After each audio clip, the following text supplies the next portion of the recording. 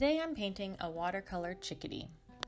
Now I'm trying something new. Instead of taping my paper down or using a block, I'm just using a loose piece of watercolor paper and I'm wetting both sides of the watercolor paper down um, a few different times over and over again. I also wet down the surface that I put it on. I chose to use glass, but I've also done it on a hard plastic surface, anything smooth that the wet paper will stick to naturally. This forms a suction on the paper. Now I'm going in with my watercolor. I'm using a fine brush here just to start to map out the bird a little bit. Um, I am painting wet on wet for most of this painting, so it ends up feeling very free and soft. When you paint on wet paper with wet paint, your paint bleeds a little bit depending on how wet your paper is. And right now my paper is is pretty wet, so my paint is going to bleed quite a bit. That's why I don't want to do too many details at this point. I'm just kind of getting the general shape of the bird in there. I do want the colors on my bird to bleed out into the page. That's why I'm doing wet on wet watercolor painting. I've been experimenting with different watercolor techniques, and this is one that I'm really enjoying. It is a little bit uh, more freeing. You don't have quite as much control when you're doing wet on wet, but there's something really nice about that. You really let the paint um, tell the story here. And you'll see that I'm putting my paint strategically down. I'm not putting too heavy of a color down yet because I do know that this color will expand. If I were to go in with straight uh, Payne's Gray uh, uh, without diluting it first with water, I would definitely have a large dark spot on my page that I would have trouble controlling. But because I'm going in with just a little bit of paint at a time, I can control it a little better. Here you see me picking up some paint with a with a wet brush. This is something you can do. If your page is wet, it's a little bit easier to pick up the paint. Uh, you can also do that with a paper towel. I just used a brush this time because I had more control. Now I'm adding in the berries. Now these berries eventually are going to um, expand and kind of become red blobs on my page rather than solid berries. But uh, again, that's what I'm looking for here. I'm looking to create a texture of the berry. I'm not looking to create a very detailed berry. And now I'm doing my border. Um, the paper is starting to dry just a little bit in places, so I am adding a little bit of water here just to make that color move. I really like adding my own border. A tape border is really nice, but there's something also nice about a painted border like this. I'm using them more and more in my artwork. I just like the feel of it. Um, and if you choose to frame something that has a taped border and your tape is just a little bit off at, at, a weird angle, it really shows up. Whereas something like this, because it's an organic shape, uh, you don't notice it quite as much if it's a little off in one side.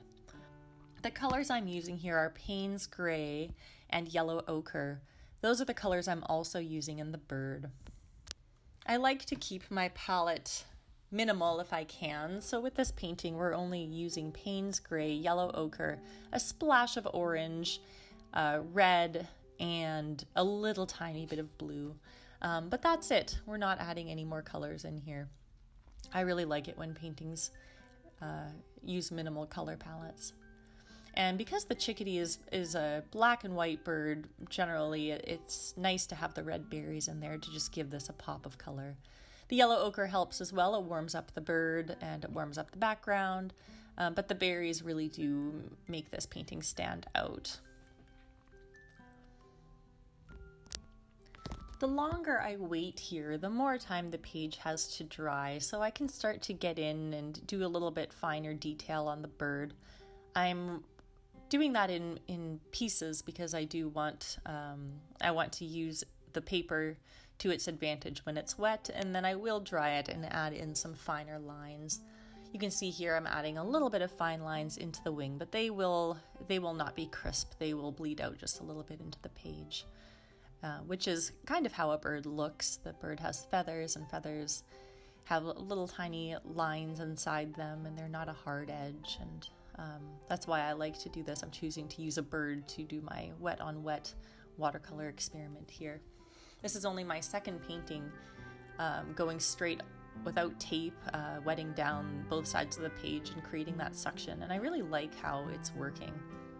So you can see here that um, my lines are going on more crisp. I would say that my page is about 90% dry now. Uh, so it's not going to bleed nearly as much as it did in the beginning. So I can definitely start to add a little bit of detail here. I don't want to wet down my bird again. Uh, it, it, potentially could make the bird a little bit muddy if I were to go over it again. So we're going to be working on the bird at more or less a 90% wet to dry state moving forward. But this is a good chance to put in these little fine lines, to add the beak, to add the eye, all of that stuff should be done when the page is just a little bit more dry.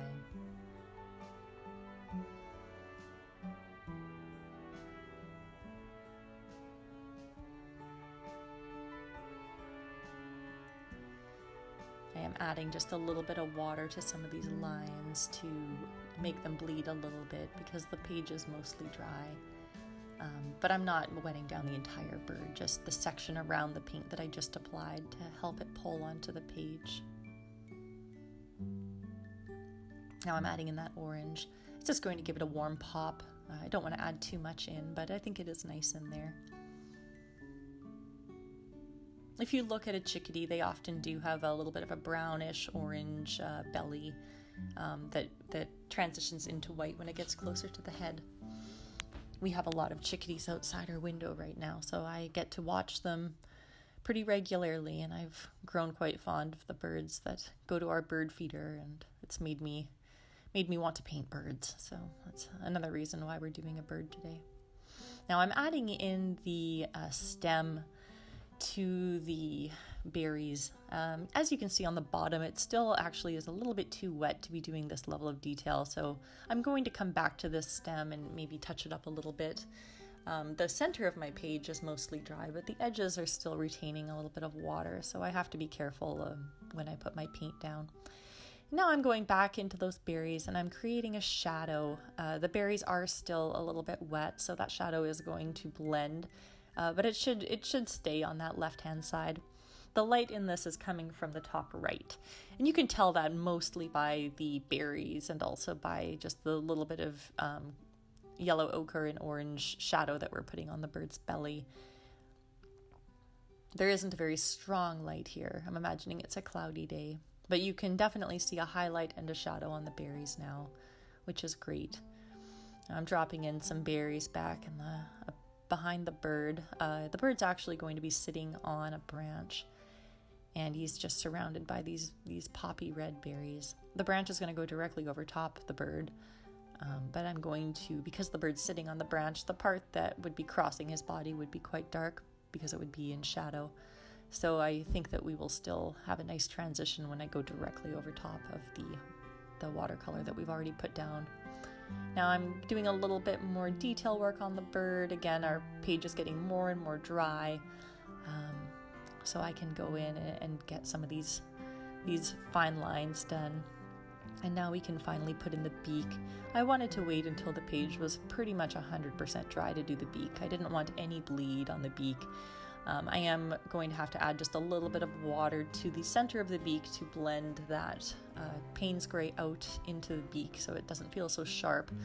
Um, but the, the beak shouldn't be blending outward. The beak, unlike feathers, is a solid object. It does have a hard edge. And uh, when we do the feathers using wet on wet, but then we do the beak and the feet um, and the, the tree branch in front of the bird, on more dry paper, we can get those different textures across. I'm just adding some more dark to the face now. We didn't want to add this level of intensity when the page was very wet because, as I mentioned before, it would have really pooled and expanded, and we would have just had a, a large black dot in the middle of our page. Um, so now I'm choosing to get darker with my Payne's Gray because the page is dry. And now I'm adding in that eye with leaving just a little bit of a highlight where the sun is hitting it. I love painting birds. Maybe it's because they don't have hands or feet. Hands and feet are very challenging, even on animals. Um, but there's something just a bird's shape is kind of simple and complicated all at the same time. They have so many feathers, there's so much detail going on. Um, but at the same time, they're just kind of a simple bird shape, um, which I really, I really enjoy that shape. Now I'm adding in a shadow to my to my twig that the bird is sitting on. I'm still a little scared to pull that into the bird. Okay, I think it's gonna work. If that bird is at all wet, it's going to make that um, stick run into the body and we'll get a big blob of brown and Payne's gray in the bird where we've so carefully put our detail now. Um, but the bird was dry enough there, so we got away with it. But I definitely would make sure your bird is dry before going over top of it with the stick. And we're going to eventually add some feet, um, but again, we need to wait for that stick to dry, uh, otherwise the feet would just be little dark blobs. Just adding in some more berries now. I like adding berries at different stages. Um, that gives each berry a unique feel. Some of them are very um, almost more just like splotches of color, and then other ones have a crisper edge and a more obvious highlight. And I think that that makes for an interesting painting when things are applied at different stages of the paper's uh, wetness. Adding in those little sticks. You you don't want to do any detail like this when the page is wet. That those small lines would just vanish and turn into um, streaks of, of unwanted color adding in the shadows is very important. It really helps those berries pop and separate from each other. I've created groups of berries because that's how they grow. You don't very often see a single berry on a branch, you often see groups of berries together. Um, but the shadow will help to separate those bundles of berries and make them feel um, more like individual berries adding in. I'm kind of cheating here. I mean, it's not really cheating, but I'm adding a berry where I had a little bit of um, unwanted bleed come out of the bird's body there. Um, so these these berries are actually um, strategically being added to cover up just a little bit of paint that got away from me there. Uh, but I do like them behind the bird. I think it helps to frame the bird. I wanted to add a couple there again because I, I wanted to show a group of berries rather than just a single berry. Uh, I want to get a little bit more bleed in into the color on the page. So I'm while the berries are wet, I'm adding a little bit of yellow ochre, a little bit of water, and I'm trying to pull some of that berry color into the background. Um, also adding just little dots of the berry color to the background to imply perhaps there's another tree with berries not too far back or another branch of this tree um, and those berry colors would would catch in that, but they would be out of focus, um, like just the little dots that I'm putting in here. I really like how the top left hand side has a bit of a dark um, border, so I'm trying to replicate that on the bottom just to balance it out a little bit here. And again, I'm adding just those few red dots to imply that maybe there's more berries behind the bird. Now I um, I use the blow dryer here. This is the first time I've actually dried my page. I usually dry a watercolor multiple times, but because this is a wet on wet painting, um, almost from beginning to end, we did not need to do that, which is kind of nice. I'm just adding a little bit more shadow here with a fine brush, um, just to give those berries even more separation. Uh, the paper must have been more wet than I realized because my berries did kind of blend together even though I did give them shadows. So I just feel like I need to go in and add yet another shadow to these berries to help them stand out from each other a little bit. To give them some roundness and to make them pop. And I also need to add in just a little spot of dark on the berries. Uh, when you look at the, these kind of berries, at the bottom they have a, like a little spot um, opposite the stem, so I want to add those in too. There we go, now I'm putting in the feet, just a couple simple lines using Payne's Gray. Uh, don't need to be too complicated with it.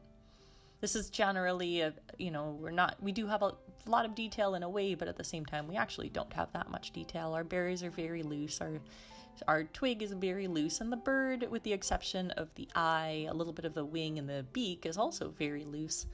And we've created that using wet on wet. Um, so I don't want to get too carried away with my detail here, otherwise, I would be confusing a couple different styles. You want the bird to be the most detailed thing, uh, and the berries to be the most vibrant thing in the painting.